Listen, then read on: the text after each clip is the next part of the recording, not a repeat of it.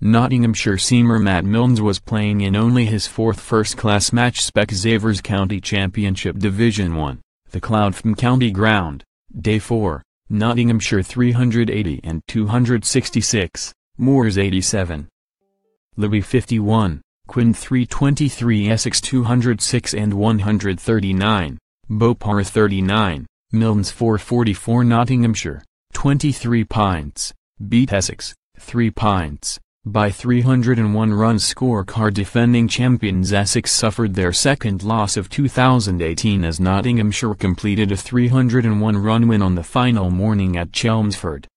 After resuming on 88-4, the home side survived for just 23.5 overs before being bowled out for 139. Ravi Bopara only added 6 to his overnight 33 not out before being caught behind off Matt Milnes, 444. Last wicket bear Neil Wagner and Matt Quinn faced 50 dot balls before Wagner finally edged Samit Patel to slip. The victory was Nottinghamshire's fourth of the season and the 23-point surge lifted them to second in the Division 1 table, 13 points behind leaders Surrey. Having been set 441 to win, Essex's slim chances of victory disappeared on the third evening as they lost four wickets before the close including Alastair Cook for a duck.